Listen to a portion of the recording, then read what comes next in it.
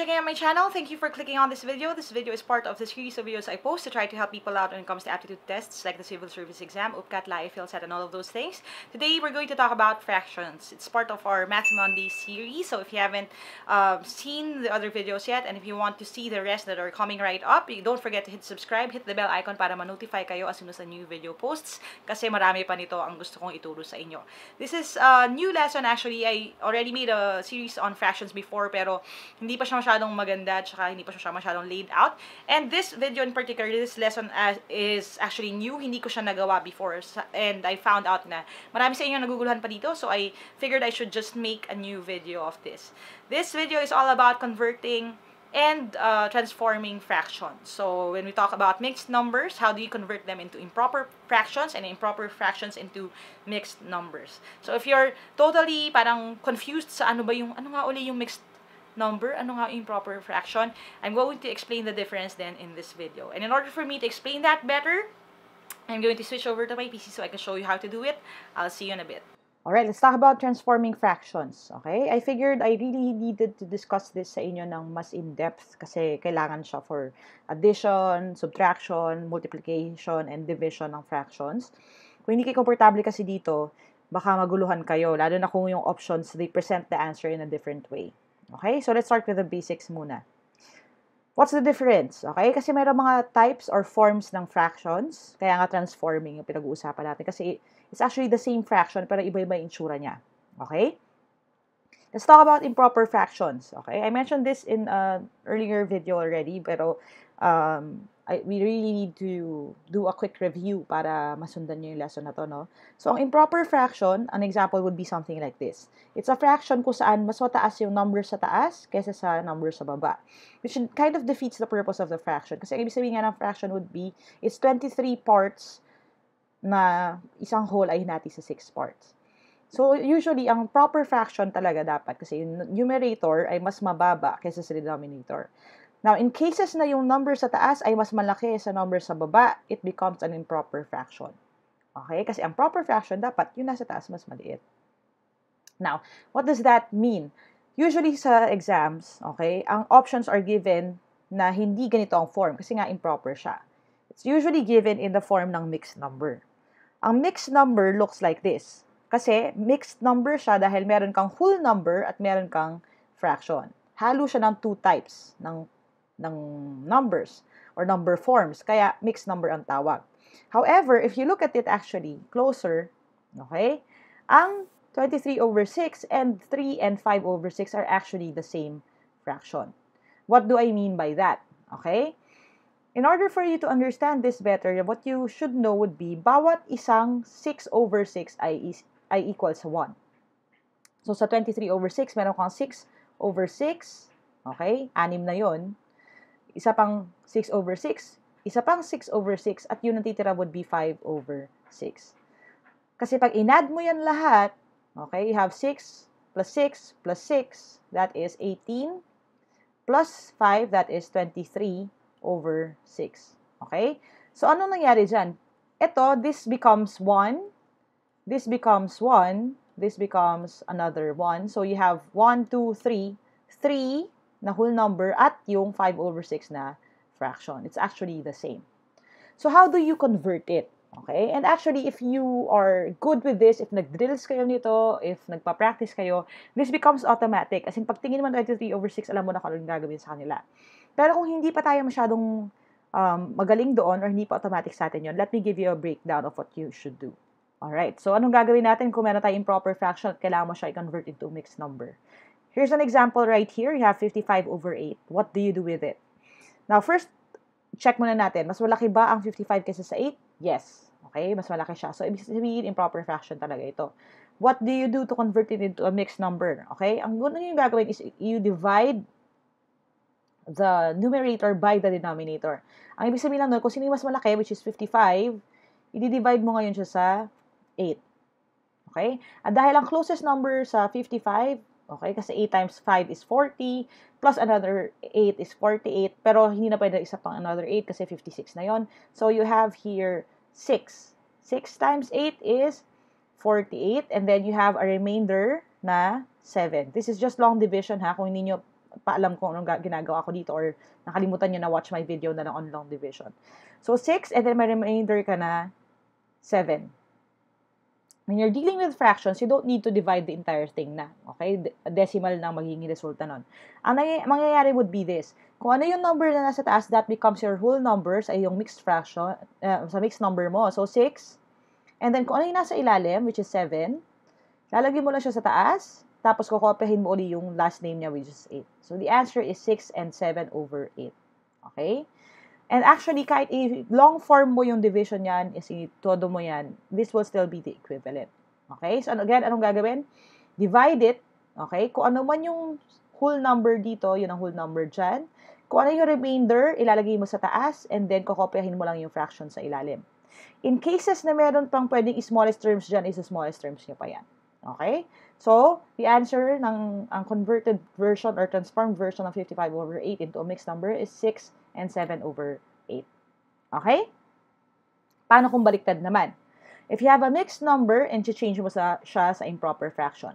This is very important lalo na if you're dealing with multiplication and division ng fractions. Kasi pag binigay ito sa inyo, hindi mo pa siya pwede i-multiply or divide right away. Okay? Well, there's a way for that pero um, baka masyado nang complicated for you guys. So, ito na lang muna. At saka ito naman lagi sinasabi rin sa atin, ever since we were kids, i-convert mo na lang muna siya into an improper fraction before you multiply or divide it. Okay? So, how do you do it naman? Okay? Kanina, nag-divide tayo. Ngayon naman, baliktad. Mag-multiply naman tayo. Ito ang gagawin. Okay? Kung ano man ito, imumultiply mo siya dito, at kung ano yung sagot dyan, idadagdag mo yung number sa taas, and then you will copy it and put it sa over 5. Okay? Kokopyahin mo lang yung over 5, and then we're going to follow this. Okay? 6, which is the whole number, times 5, which is yung number sa ilalim or denominator, that is 30. And then, mag-add ka ng 2 plus 2, which is yung, yung numerator mo. So, 6 times 5 is 30, plus 2 is 32. So, the answer is 32 over 5. Okay? So, again, kung ano yung whole number, multiply, and then add sa taas. Ganun lang yung gagawin mo. Alright, let's see kung uh, nakuha niyo na yung lesson. And uh, if you find yourself na naguguluhan pa, you can always go back naman dun sa ating lecture. Okay, transforming fractions tayo. Pag nakakita kayo ng mixed number, gawin mo siyang improper fraction. Pag nakakita ka improper fraction, turn it into a mixed number. Okay? Are you ready? I'll give you 3 minutes. Your timer starts now.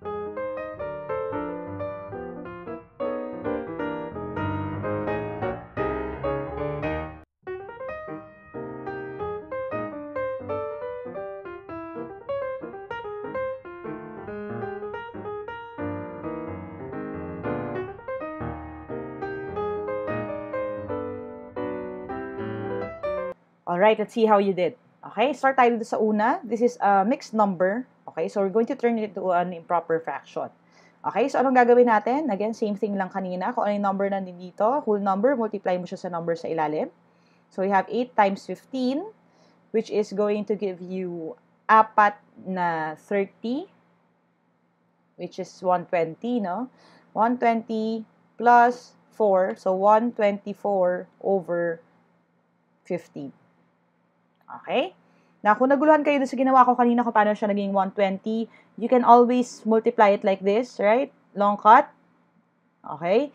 Or uh, you can uh, do like this, times 10, okay? And times 5. So, ang times 10 is 80. Tapos, ang times 5 is 40. So, 120 siya.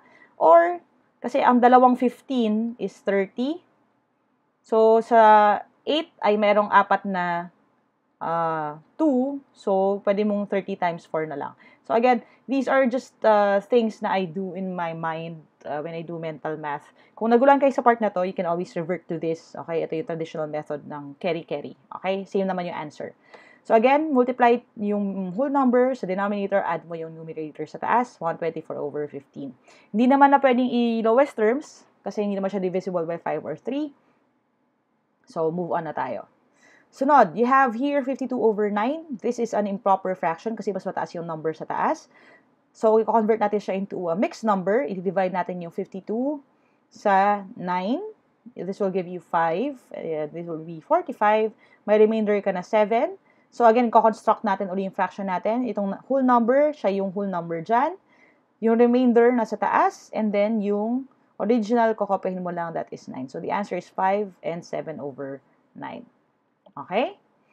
Next, we have 93 over 1 over 11. So, again, same thing. Di-divide natin siya kasi ito ay uh, improper fraction. So, 93 over 11. Okay, hindi pwede 99, pero pwede 88. So, 8 times 11 is 88. May remainder ka na 5. Iko-construct natin uli yung ating number. So, you have 8 as the whole number. 5 ang remainder, lalagay mo siya sa taas. Over, and then 11 yung kanyang original na apelido. So, 8 and 5 over 11.